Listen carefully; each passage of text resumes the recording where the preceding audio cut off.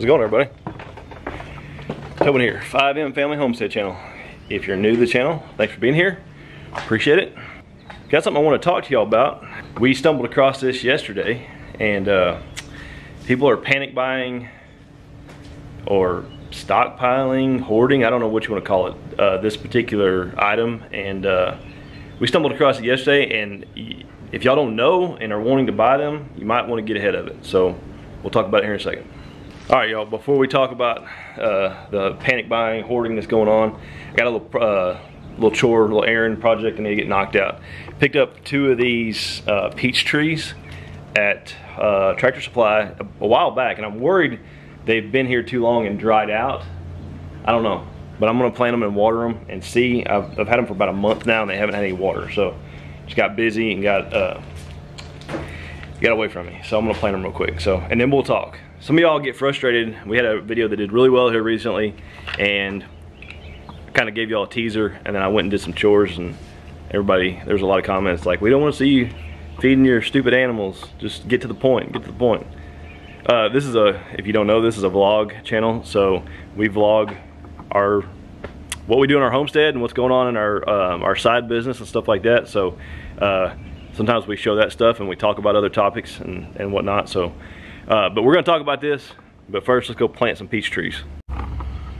So another one of the reasons I haven't planted these trees is I could not, uh, there's times where I had the time to do it, but I couldn't figure out where I wanted to put them at. Um, we live on a one acre uh, piece of property and space is, um, I mean, it's kind of, it's closing in on us and we're running out of space. So I don't want to put them somewhere where they're going to be in the way or where we may potentially utilize that space for another, you know, something different uh, and then have to pull them out or whatever. So, um, but then today it hit me.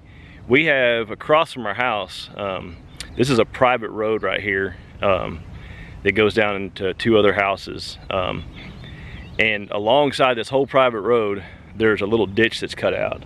And I've never seen it have much water in it. Um, it doesn't really catch much of, from anywhere. Um, it kind of goes and goes back over the hill that way.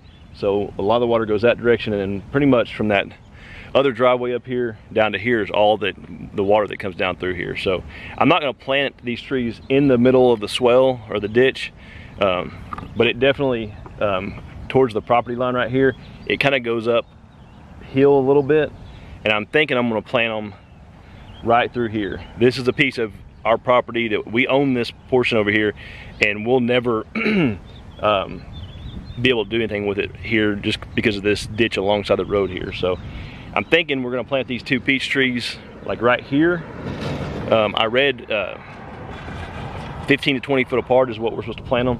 So I'm thinking about planting a couple of those here and then we may get some more um, trees to plant, like fruit bearing trees to plant down through here. I think we could plant several uh, to the that corner brace up there is where our property line ends. So across over there, I think we could plant quite a few between here and there and utilize the space. So, but I think I'm gonna plant them probably about where that, as far as off of the fence, I'm gonna plant them about where that shovel is. Maybe a little bit closer to the fence, something like that. Then when they fill out, we'll still have room to get all the way, you know, we'll be able to get all the way around most of them. Um, and if we had to get on those at the fence, we, we could, we know the neighbor. Um, but question, so what, uh, what are some more uh, fruit bearing trees that we should plant here in North Texas? Uh, the a rent house we used to have, they had, um, they were called Texas date trees or jujube trees. And those are a really cool fruit. Um, and the kids liked them. They kind of taste like an apple, I guess, maybe. Um, I've been looking to get some seedlings of that particular tree and I cannot find them. Um, but I may have to end up ordering them or something. But I'd like to eat a couple of those and then, uh, I don't know, apples, uh, pear tree, what else? What do y'all think? Y'all comment below. I've read that, I'm no expert, but I've read you're supposed to uh, plant at least two so they can germinate each other or something like that. Y'all comment below. I'm not an expert. Tell me what how, how that works. So all right, we're gonna get these in the ground real quick.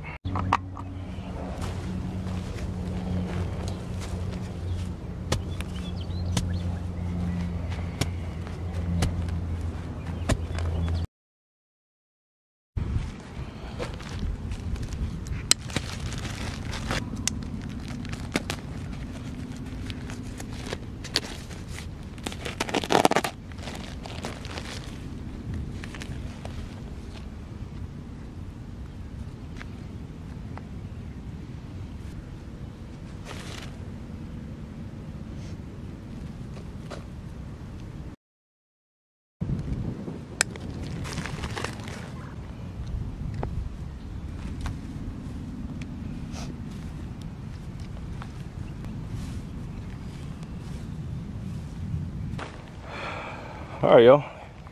Got them planted. They look good. If you get it lined up right, they, they're gonna line up with the fence pretty good. And like I said, we're gonna get some more soon and keep on going down that way. All right, y'all. Went inside to get a drink real quick. And uh, Shannon was making fun of me for how I was measuring out uh, the trees over there. First I was using like the shovel and using, I was doing like one whole shovel and then a half. And then I was looking at it and it didn't look right. Something felt off to me. Like when like one of them looked closer than the other. So I actually went in, I don't know if I showed it on video, but I went in and got my tape measure and then measured it off the fence. And, and sure enough, one of them was one inch shorter than the other one. So I moved it out an inch. And, and then I don't know if you saw in the video, but the first hole I started, after thinking about it, I wouldn't have had enough room to get my lawnmower through there, and I didn't want to weed eat all that extra space between the tree and the fence. So I went ahead and moved it out a little bit farther. I think there's 64 inches exactly off the fence line. So that gives me, my lawnmower is a 48 inch lawnmower, I think. So that gives me, you know, more than enough room uh, to make it between the tree and the fence. I got a little rope on my little chute that shoots the grass out. You pick it up and go right through there. So so I'm not trying to scare anybody or panic anybody. This is more just a public service announcement to anybody who may want to know.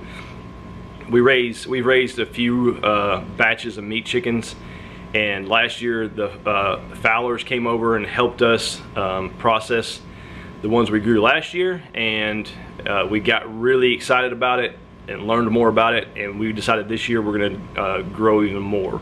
So we were going to order 30 to 35 uh, meat chickens. Last year we did the Rudd Rangers and we ordered them um, later than this time right now. We ordered them a few weeks later than this time right now. And today is March 2nd. Um, I think we ordered them mid to end of March. Um, so we went online yesterday and we, we, Shannon and I were just talking about it, kind of thinking about it. And uh, while we were doing it, we were trying to figure out who, uh, what company we bought the meat chickens from uh, we, fi we figured it out. It was Hoover Hatchery. We went online, looked on Hoover Hatchery. They have no Rudd Rangers or any kind of uh, free-ranging type uh, chicken that we could find, or very few that we could find, um, that were available to be mailed to us until May. Um, so then we went, I think we went to McMurray Hatchery, same thing, uh, and then we hit a couple of other hatcheries, same thing.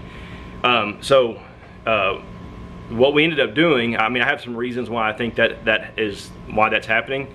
We'll talk about that in a minute, but what we ended up doing is um, we did some research and found out of the, the few choices that they did have available, we found what we thought would fit best for us.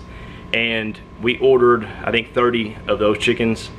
And then I can't remember what the name of them are. It's not a name I'm super familiar with. Uh, Shannon would remember, but I'll, I'll tell you all here in a minute. But uh, we ordered, I think, 30 of those and then five or six um, of another kind of laying hen that we're gonna try and we're gonna just raise those uh, the laying hens with the meat chickens until the meat chickens are ready to be butchered and then we'll let them out with the, um, the rest of our flock. So, like I said, if you guys are wanting to raise meat chickens, you know, I'm not trying to panic or anything like that, anybody, but um, you might want to try to go look now and see if you can get some because the problem with for us with getting them in May, um, that may be okay in other parts of the country if we get them in May, we're gonna be raising them right through the heat of the summer. And if we have a bad summer, even if we have a normal summer, we could definitely lose some uh, um, some chickens to heat. We, we did that last year and we only raised them into like through June, the end of June. Um, uh, you know, you can lose them to heat and, and just, you know, they don't, they don't they just don't do as well in the heat. Uh, that, that's our big problem is you know May going it'll be August September before we butcher them and just there's just too many problems with that heat and having to keep them cool and putting tarps up and it's a lot of work. We we lived through that last year. Like I said, we didn't even really get into summer last year with them. So. Uh, you know, if you're in another part of the country, maybe uh, maybe getting them May is not a big deal for y'all. It's a big deal for us. So if you live in the South and you don't don't want to be raising uh, your meat chickens through the heat of the summer, you should probably go check out um, your you know any of the online hatcheries and uh, see what they have available. You may have to think outside the box and do some research like we did, um, but but hopefully y'all can still find some. But the the the Rudd Rangers and Red Rangers and all those types that are the most common free ranging type, which is what we like, um, are not available. Uh, we did buy a free range. Hold on, let me go inside and ask you what the name of it is. I asked her like three times today and I still can't remember. Hold on. All right, I'm back. So I got it wrote down this time so I won't forget. So we ordered ginger broilers. Uh, those are new to us. Um, they're supposed to be built kind of like a Cornish cross, uh, but they don't have the issues of the Cornish cross. Uh, those were the first type of meat chickens we raised, and we probably won't raise them anymore. They're nasty, and they're definitely like what the production uh, meat, you know, chicken processing places use. And they grow so fast that they can like they can eat themselves to death, and they get so big that they can't walk, and their feet swell up, and they'll. It's just they're not they're not for us. Um, those Rudd Rangers were really nice, and um, these uh, ginger broilers, from what we're hearing, is supposed to be, you know, you can free range them. Uh, you can also raise them, you know, in a tractor. Uh, we're gonna do a little bit, a combination of that with them. Um, but that's what we ordered. Y'all, y'all may check into them. We did not look for Cornish crosses. They may be available if that's what, if you want to go that route. Again, we're not going to. Um, but why? Why is you know last year we started looking this this time maybe even earlier for meat chicks and then kind of made our decision like, like I said in mid to end of March and there was no problem getting them sent you know like the next week. I don't know if this whole um, you know egg production uh, conspiracy thing has anything to do with it uh, why they're so far out. Um, if, if, the chickens aren't laying eggs enough um, I don't know if it's uh, people are rushing to buy meat chickens for you know just the state that our, our economy and our government and our country is in just to prepare. I don't know if there's more people getting into homesteading and, and raising their own food. I don't know. I really don't know what um, could be causing it. It could be a, a combination of things. Maybe, I don't know. Maybe for whatever reason, if you go back in there in a week or two, maybe they'll have them available sooner and they're, they're just not available right now. I don't know. But we didn't want to take a chance on not getting anything, so we went ahead and ordered these. Uh, Y'all check them out, ginger broilers. They're, they're a reddish color. Um, look to be pretty hardy, um, so we're hopeful that they'll work out for us. Uh, we also ordered blue Andalusians for uh, our to add to our laying hens. I think we ordered five of those, and uh, like I said, we're just gonna raise them up with the meat chickens and uh, see how that goes. So uh, Y'all comment below. Why do you think uh, there's a shortage on chickens right now, on meat chickens? Uh, comment below, let us know. Uh, speaking of meat chickens, tonight, Shayna's gonna cook um, one of our meat chickens that we raised last year, one of the, the Rudd Rangers. And uh, she's gonna do it in a way that the Fowlers uh, told us to try. It's gonna be really exciting. Um, I mean, I'm super excited about it. Uh, so y'all stay tuned and she'll show y'all how she does that. We eat the chicken in a tornado. Hopefully not. There's some bad storms out west, west of us. Heading our way. They're like, look like they're coming right towards us. So kind of early. It's already spawned a tornado warning. The storm and it's intensifying. So we might be eating our chicken in the, the storm, storm shelter. Um, so I'm we're we gotta prepare the chicken. I told you earlier we're gonna cook the chicken in a new way. So we're gonna do it in Shanna's what do you call that thing? Ninja Foodi Grill XL. That's what I have. Okay. So that's what it looks like. It's over there. It sounds like a spaceship taking off. It's preheating, that's why. Oh, I guess I should say that. So I turned it on. I did the roast, hit the roast, and then it's, right now it doesn't show it, but it will. I have it set at 360 degrees for one hour. And then it, when I shut it, it preheats. So it's done preheating and it's ready to have the food added to it. The Fowlers told us about this. The yeah. only way that we've ever cooked whole chicken is in a crock pot and it's not that good. Yeah. And on the smoker. But and during the week we don't usually fire up the smoker for yeah. things like that, smoking chicken or ribs or anything. Well, this is gonna be a lot faster. And then last night, the night before, we were, I was stressing because I didn't think we had a whole lot of meat left. And we were going through it, and then the chicken, and then it dawned on me. Tanya and Mike were like, for lunch sometimes they'll fire up their Ninja and throw a whole chicken in there. So do we have a lot of meat left? No. Yes. He's looking at me behind the camera. yeah, she was worried we didn't have a lot of meat left. I was like, we, we could not possibly fit like even part of a pig in there right now. We've got to eat all that food down. Uh, so we're trying to, we just need to, I mean, not that we haven't already, but we're going to continue to, you know, buy very little food from the grocery store. I just don't, I would just rather not eat it and have it there forever. So, the next part I have to prepare the chicken. Okay?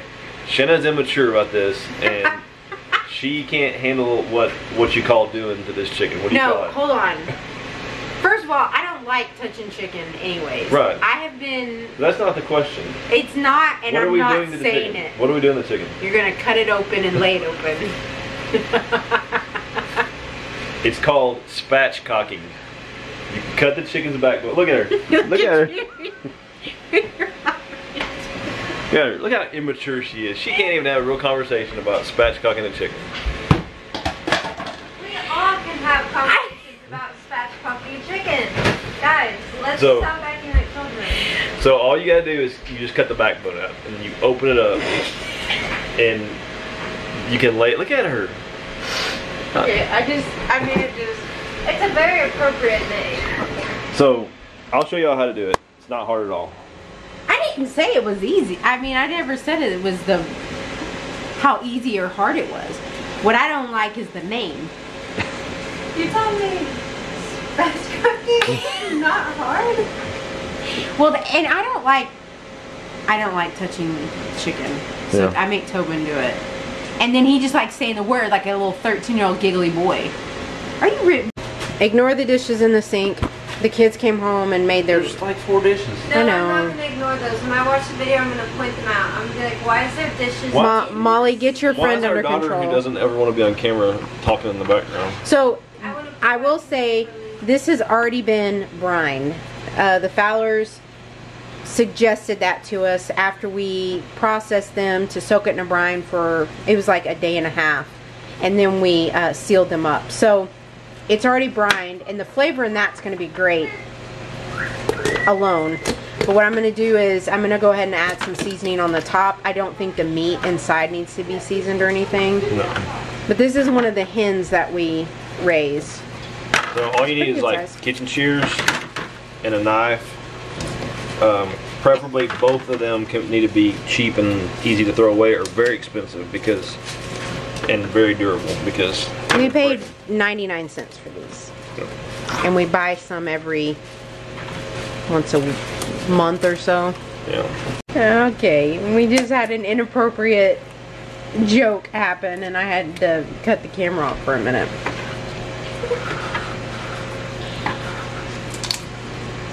So that's the that's the backbone, right? Yes. Cutting the backbone out. Cut out. That's just the backbone. Cut out. You can see the leaves from when we The bay leaves. when we brined it. Alright, are we ready to put it in the thing? No, turn it over because I want to um I want to season it with We'll like season seasoned this salt. part. Okay. It's a lot of season salt.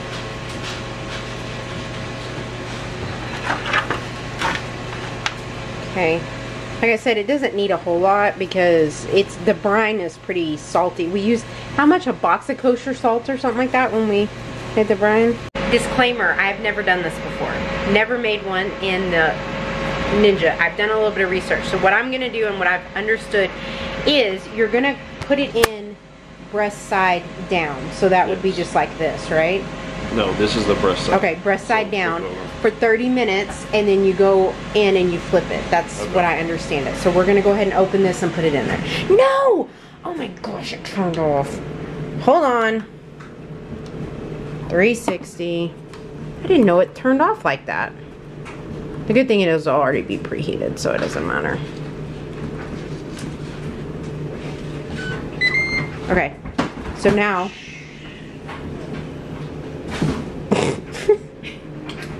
All right, so now we're gonna put it in. It's hot, so be careful.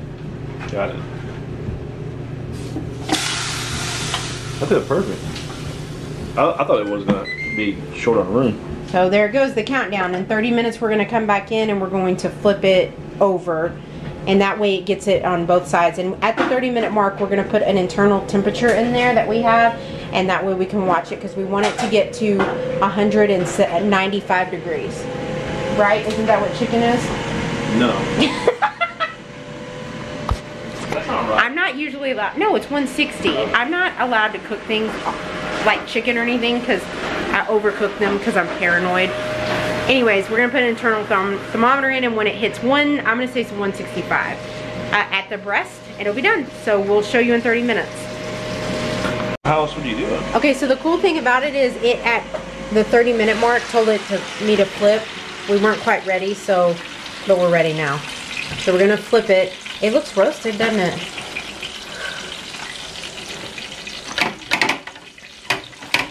Oh, maybe I should have. And go ahead and put the thermometer in. Yeah, you're gonna have to. Here.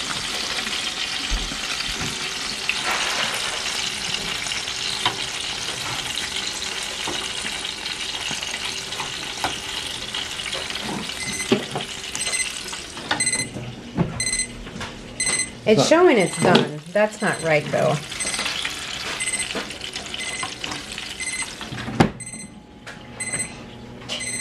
Why is Skylar joining y'all? Like she's gonna. It's not 189 right now. There's no way. It's been cooking for 30 minutes.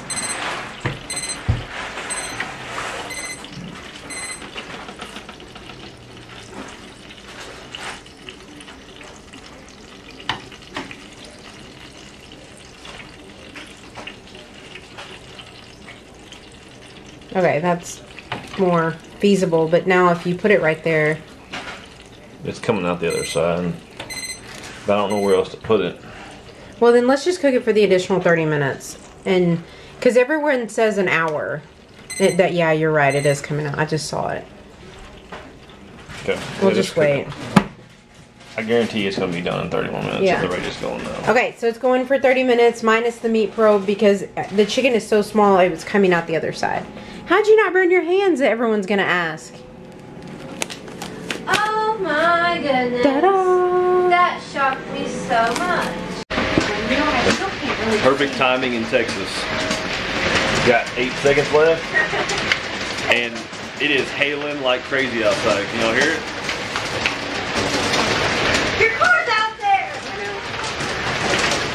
We have a trailer full of lumber Yeah. And left, my car's not into the carport and it's out and it's hailing like crazy right now. So nothing we do about it. Yeah. All right. Dinner ready either way.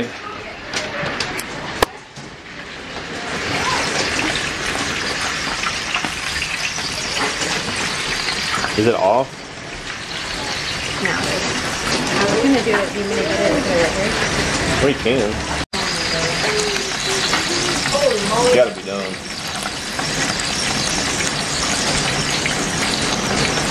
That was good. Yeah. You're gonna have to ignore the sounds outside. We went ahead and broke it open and we're gonna let it rest for a few minutes, but I'm scared it's it's, gonna. I'm scared it's gonna overcook. I think we may have went too long with it.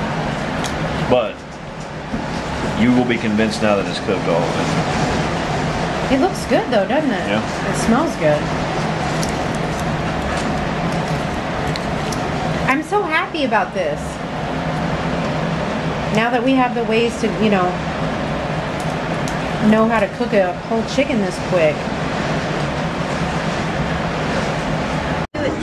It. Doesn't. Right. Turn down the thing. Well, I mean, it's just trying to give them an idea. Some fairly widespread power outages as this line continues to move east. The only good news I can tell you is that we're not seeing any large hail embedded within the line, and at least for the present time, there's no significant rotation. Allie? We are getting reports of significant shingle damage, power flashes.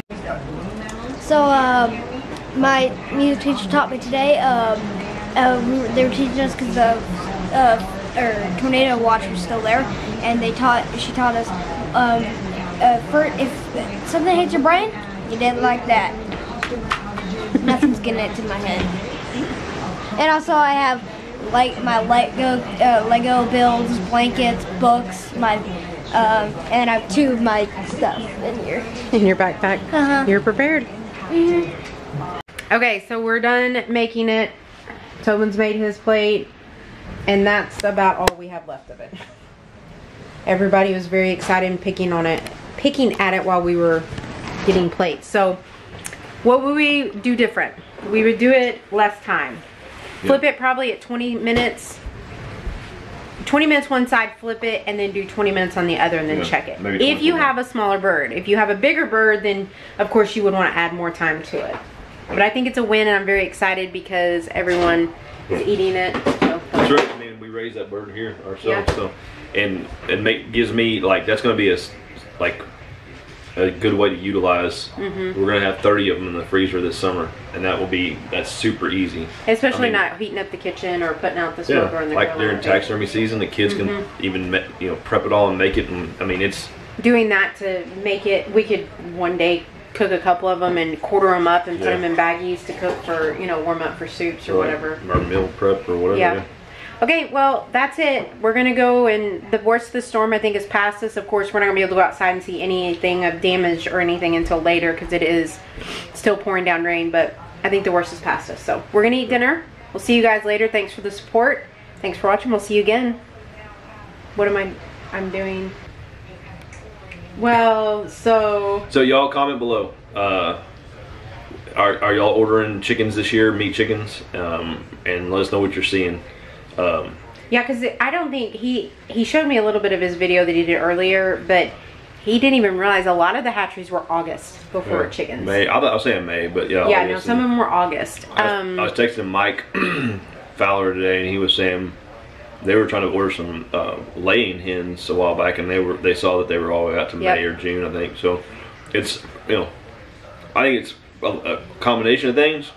I think it has everything to do with the. Um, The I don't want to say the scare tactic, but Yeah. the things with the the egg shortage and the Yeah. feed and everything people else. are just buying Yes. them, panic buying I think them. so. and, yeah. I think that's what it is because we've never, like he said, we've never in the past had any trouble just getting online, ordering um, 20, 25, and them shipping the next week. I, we've never had that issue before, and now we do. So, So comment below. What do y'all think?